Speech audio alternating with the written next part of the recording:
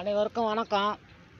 பார்த்தீங்கன்னா ஒரு கிராமப்புறத்தெலாம் ஒன்று சொல்லுவாங்க நோவாத கும்பு நோவாத நோம்பு கும்பிட்றான்னு. நோ நோம்பு கும்பிட்ற வேலை அவ்வளோ சாதாரண வேலை இல்லை.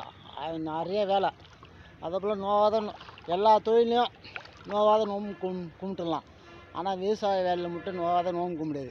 இதே போல் சேத்துல இறங்கி வேலை செய்யணும். வேலை செஞ்சால் தான் நம்ம சோத்துல க சாப்பிட முடியும். சோத்துல கை வைக்க முடியும்.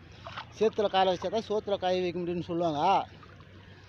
விவசாய வேலையில் மட்டும் நோவாத நோம்பு கும்பிட முடியாது.